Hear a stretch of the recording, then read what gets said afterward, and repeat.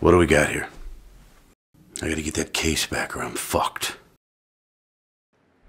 So you want my organization to take this briefcase off your hands, and we get what? The city. Give me a fucking pen.